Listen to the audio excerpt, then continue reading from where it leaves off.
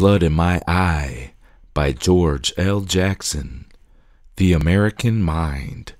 Frankenstein's need for a servant was an expression of his diseased ego, so he created a demented, ugly creature, pathologically strong and huge. Dear Greg, the breakdown of establishment conditioning usually occurs first at the university level. Students refuse to accept the lie that our exploitation of the world's peoples is actually beneficial to them. They begin to refuse their share of the spoils. Huey Newton and Bobby Seale left the campus to form the Black Panther Party. The Students for a Democratic Society gave birth to the Weathermen, the rise of socio political institutions to their present form and complexity was not the result of chance.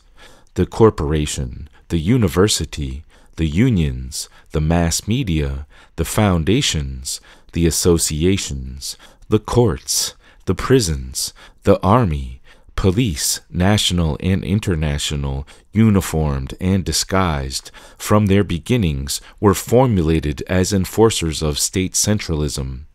An examination focused on the history of all the major socio political institutions of the United States, a study in the genetics of hierarchy, would certainly uncover the totally economic motive underlying the foundations of these institutions.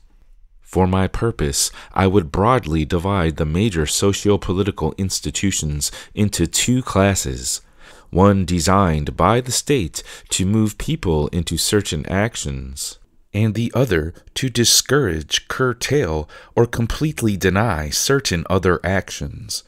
The unintelligible vastness of these institutions makes it seem impossible that they could be owned and operated by a relatively small number of men, but the truth of this can be demonstrated by documented evidence and irrefutable case studies. The modern, industrial, corporative, city based state could never function at all without hierarchical control and an acceptance by the people of the controlling hierarchy. Prior conditioning, of course. The effects of ubiquitous self negation inbred since childhood, of course, again.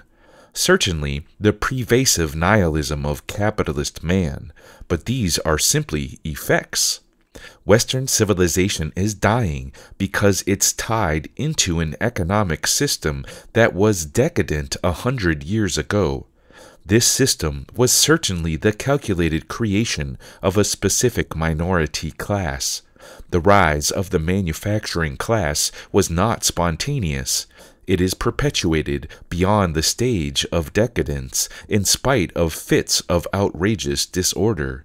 Its seemingly remarkable ability to return from crisis is not proof of natural durability. Rather, it is proof of a destructive will to power at any cost. Frankenstein's need for a servant was an expression of his diseased ego, so he created a huge, pathologically strong, demented, ugly creature. He censored the beast's activity by making him underintelligent. He erected institutions flexible enough to keep the giant working, but rigid enough to forestall any growth of his mental faculties. A brain was grudgingly attached to the beast to provide a way for it to act. The beast worked and fought the enemies of his creator. The beast was content to watch the creator flourish. He lived through his creator and when he finally saw himself as he was, he went mad. The corporation, the foundation, the association, the mass media, the state controlled unions, the universities, and primary schools are all designed to move people into very specifically pre ordered and monitored actions. The actual monitoring is done by a broader segment of the stratified slave state, but the pre ordering is done by the one tenth of 1%, the ruling class and governing elite of the corporative arrangement. The careful observer can see immediately how the guiding instructions are held together by red tape and rubber bands so that they can be very flexible when necessary. The corporation's flea market and the mass media are relatively new techniques of control, as are the institutional foundations in most of the associations.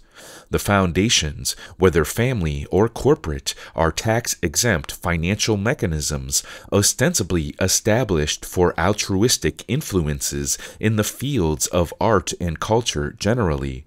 They subsidize scientific research, higher education, educational TV, etc.